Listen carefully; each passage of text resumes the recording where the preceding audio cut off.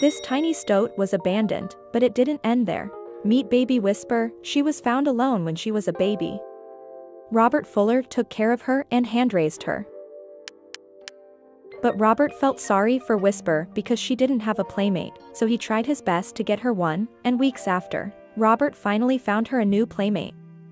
Now meet Stuart, the same age as Whisper. And the moment of their meeting was so cute. When they became nine weeks old, they were taken into a release enclosure to prepare for being released into the wilderness. They both adjusted quickly to the enclosure and were ready for their new experience. It only took them one week before stepping out into the wild. Subscribe for more stories like this.